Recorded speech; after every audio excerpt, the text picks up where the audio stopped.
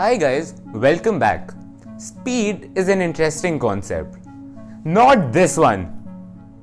That just screams bad in so many ways. Yeah, this is the one I'm talking about. No, but seriously, this video is about the speed of light. The seeds of this video were sown when I was reading my grade 10 NCERT science book last year and found this. This claims that light slows down in glass. Whoa, how can light slow down when it is physically impossible for light to not go at the speed of light? There's a reason it's called a constant. Duh. We all can agree that a single photon is light, right? And it is physically impossible for a photon to slow down. This brings us on to the questions we'll be answering in this video. Does light slow down in glass? If not, why does it appear to slow down while traveling through a denser medium? Who really killed Kennedy? Sorry, sorry, maybe I got a little carried away.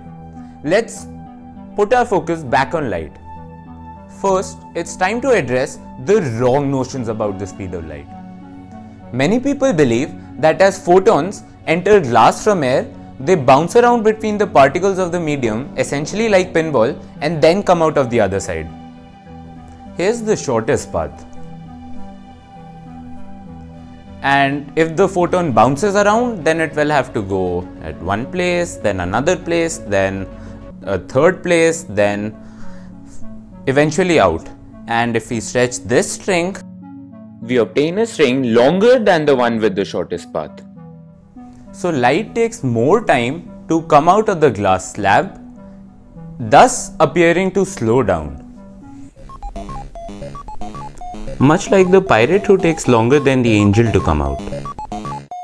But if this were true, we would notice the light coming out of different locations on the glass slab and we would also notice that the light takes different times to propagate through the medium every time we send it through the medium.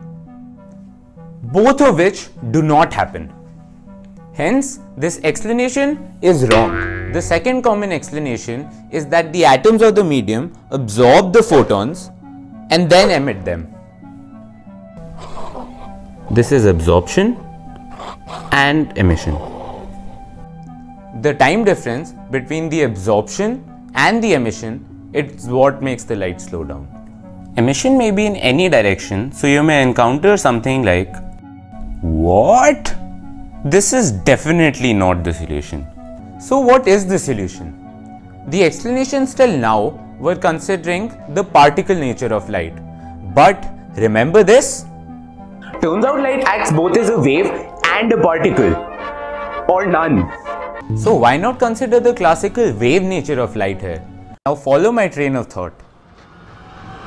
Light is an electromagnetic wave, so it has an electric component.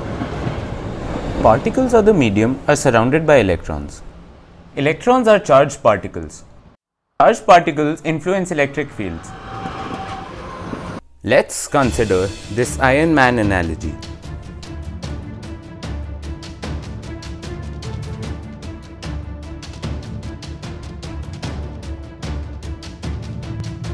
When a wave of light hits the glass particles, the electrons of those particles start vibrating and emit their own light as postulated in the train of thought.